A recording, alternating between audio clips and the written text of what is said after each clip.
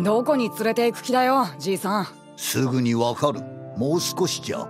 さっき誰もが幸せに生きられる世界を作りたいって言ってたよな。あれどういうことだってばさ。これから行くのはそれを教えてやるのにおあつらえ向きの場所じゃて。次回ボルトナルト NEXT GENERATIONS。小槌の意志。わしは小槌の意志を継ぎ願いを果たさねばならん。